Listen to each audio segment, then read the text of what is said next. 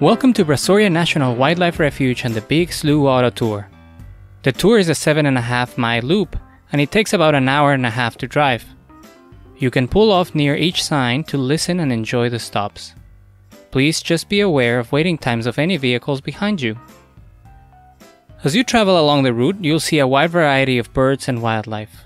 Your vehicle is an ideal observation blind.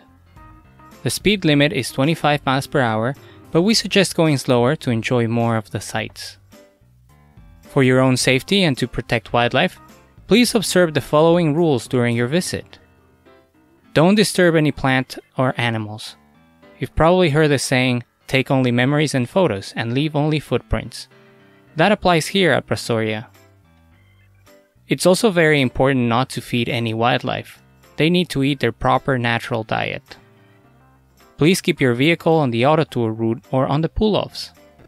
If you brought pets, keep them on a leash. That's to ensure your pet doesn't disturb our wildlife, but also their safety. Alligators call Brazoria home, so a short leash is safer for your pet. In addition to alligators, venomous snakes, fire ants, and relentless mosquitoes live here, so watch your step and take precautions.